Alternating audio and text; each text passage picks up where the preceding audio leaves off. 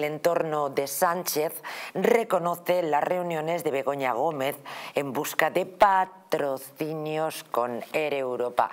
Es difícil esto de ironizar y entrecomillar, ¿verdad? Tanto en la radio como la televisión. Fernando Paz, buenas noches, cuéntanos. Muy buenas noches. Bienvenido, Fernando. ¿Qué, vamos a contar? Si es que esto ya es una, eh, eh, en fin, es una caída sin frenos, ¿no?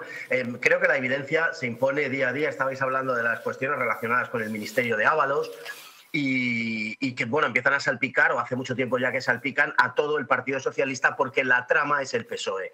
Si es que aquí no hay una trama, es que la trama es el PSOE. Entonces, estamos viendo el caso de Begoña Gómez, en el que esta señora resulta que se reúne con Europa Mm, pues bueno, una reunión entre, entre SEPI y Globalia, y en la que cuenta además con Víctor Aldama, cuya presencia creo que es importante porque pone en contacto a muchos de los elementos, y esta señora eh, bueno, es beneficiaria del eh, patrocinio de, de Europa, eh, para una cátedra universitaria, entre otras cosas, para la que no tiene ninguna cualificación. De hecho, no es ni licenciada porque su licenciatura en marketing, como quedó eh, claro hace ya muchos años o varios años, es, eh, no está homologada. Entonces, esta señora no, no, reúne las condiciones mínimas para desempeñar el cargo que desempeñe. Sin embargo, está avalada por esta empresa, que es una empresa beneficiaria de las decisiones del gobierno, en, siendo que el, el presidente de gobierno, el marido de Begoña, permítaseme la expresión, resulta que ni siquiera se abstiene en el Consejo de Ministros en pronunciarse por, eh, acerca de este asunto, eh, acerca de este asunto de la concesión, que estamos hablando a Europa, que estamos hablando de unos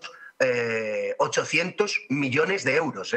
Que esto no, esto no es el bizum del hermano de Víctor Aldama, el bizum de, perdonen ustedes, de putas y mamadas, es que venía así en, el concepto del bizum. No, no, es que estamos hablando de 800 millones de, de euros. Y a esta señora se le puede ubicar en eh, los días del rescate de la compañía Air Europa en la sede de la compañía Air Europa.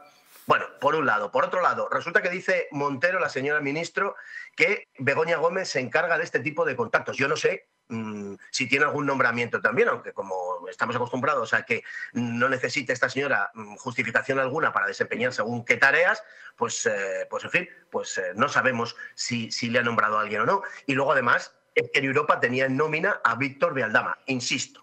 ¿Y quién es Víctor de Aldama? Dirá alguno a lo mejor que no esté muy al tanto de lo que está pasando. Bueno, pues es el comisionista del caso Coldo.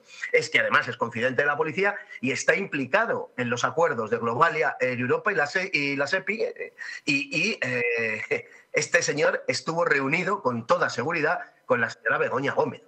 Es decir, que aquí en esta trama que es absolutamente obscena y grosera hasta unos límites sin precedentes, en esta trama digo nadie ignora lo que están haciendo los demás. Este es el material humano de desecho del Partido Socialista Obrero Español, que por cierto, hablabais antes de, los, eh, de las costumbres de muchos de sus miembros, ¿no? Mm. y el otro, el otro día, con motivo de los fastos oficiales del reino del 8M, a lo que ya no va prácticamente nadie, bueno, pues pedía la, la, prohibición de la prostitución. Y yo, a la vista de las actividades de tantos y tantos socialistas, les pediría que la votación, si lo presentan finalmente en el Congreso, la hagan en secreto, porque se van a llevar una, una sorpresita seguramente con respecto a los votos del propio grupo parlamentario. Bueno, esto es lo que tenemos. Aldama, Víctor Aldama, cuyo hermano, el del Bizum, es guardaespaldas de Ábalos.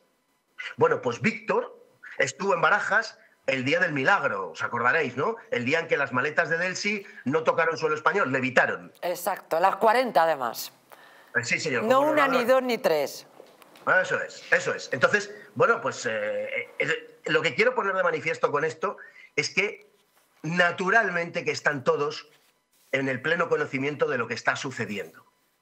Naturalmente que es así, naturalmente que hay una trama y naturalmente que la trama se llama Partido Socialista Obrero Español. Si queremos saber cómo funciona esto, yo animo a la gente a que vea la película El Padrino, porque son los métodos de las mafias, más que los de un partido socialista, más que los de un partido político, perdón, los que rigen el Partido Socialista. Esto es una trama, y repito, tiene un nombre, PSOE.